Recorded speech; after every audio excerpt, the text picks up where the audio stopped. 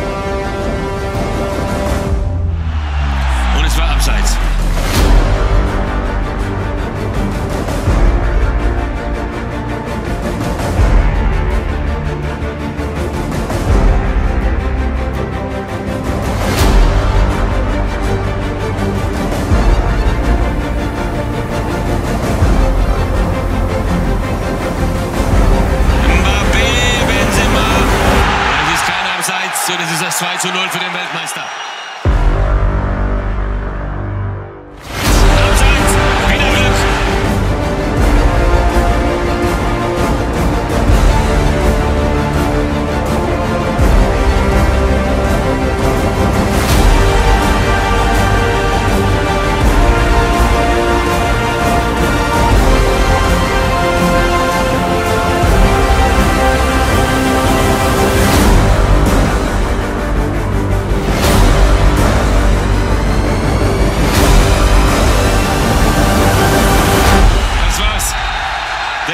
Weltmeister 2018 schlägt den Weltmeister von 2014 mit 1 zu 0.